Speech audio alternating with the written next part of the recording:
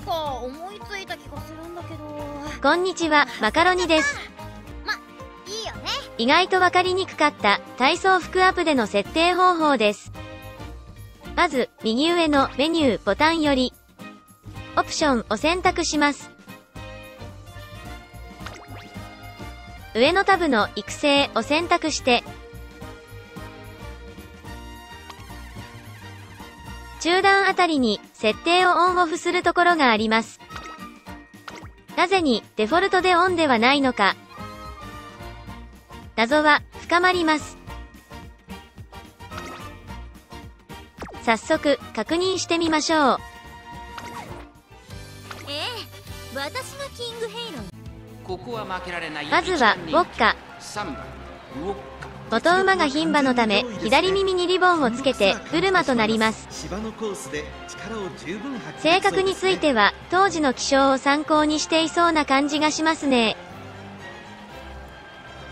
元馬が逆にボバだった場合は、右耳リボンに短パンとなります。この設定に気がついた時は、脱帽しましたよ。さあ、どんな感じになるのかご確認ください。上空には。今スタートが切られました。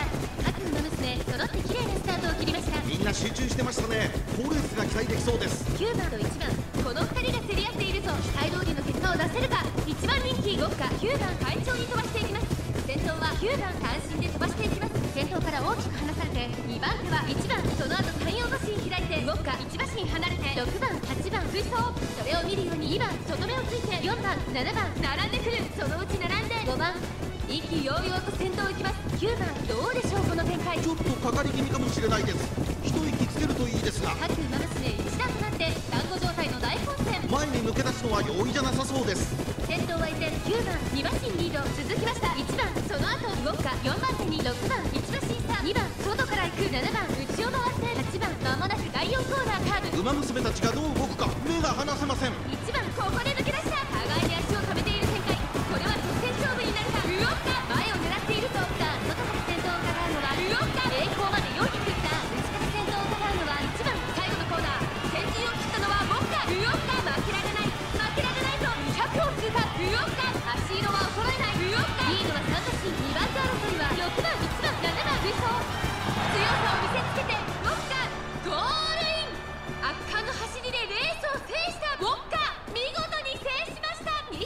6番3着に入ったのは1番。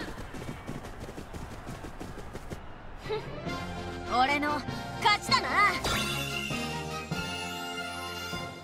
注目の1番人気。2番。次は、春うらら。実力は完全に上位ですね。貫禄すら感じてしまいます。うん前から気がついていたのですが。男が履いているようにしか見えない。同じように感じていた、そこのあなたは、ぜひチャンネル登録をお願いします。それでは、じっくり観察してみましょう。これは位置取りが熾烈になりそうですね期待通りの結果を出せるか膨らんでいるぞ。3番会長に飛ばして行きますさあ花に立ったのは3番。このままリードすることができるか。先頭から大きく離されて2番手は8番内から。内から。7番内には春うら。ら。それを見るように4番春うらら上がっていきます。ちょっと前に出ましたね。集団が一つにまとまって混戦状態です。お互いに牽制し合っているようですね。大欅を越え4コーナーへ。まだ1馬身以上の差があるぞ。ここから捉えることができるのか。勝負は最後の直線に持ち越された。ハルウララ前を狙っているぞ。ハルウララ外で足を溜めています。ハルウララは2人の一騎打ちハルウララ並んできた栄光まで400外を回っていったのはハルウララ飛び込んできたハルウララ先頭3番しかしその差はあるかここでかわして先頭は8番ハルウララ勢いよく上がってくるぞ残り200強い強いハルウララ足色は衰えないハルウラリードは2馬身2番手争いは8番3番勝ったのはハルウララ見事な走りで勝利を集中に収めましたハルウララ見事に完勝メイクデビューを制しました2着8番3着は？さあ、いかがだったでしょうか？膨らみに気がついた方はぜひ、高評価お願いいたします。どう考えても、神アップでですね。